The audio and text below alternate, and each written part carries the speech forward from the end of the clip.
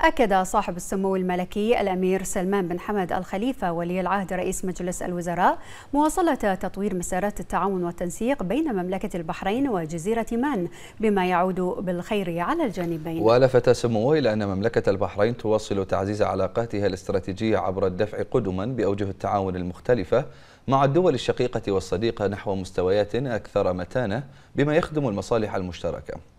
جاء ذلك لدى لقاء سموه حفظه الله في قصر القضيبية اليوم بحضور سمو الشيخ محمد بن سلمان بن حمد الخليفة ومعالي الشيخ سلمان بن خليفة الخليفة وزير المالية والاقتصاد الوطني وسعادة السيد حمد بن فيصل المالكي وزير شؤون مجلس الوزراء.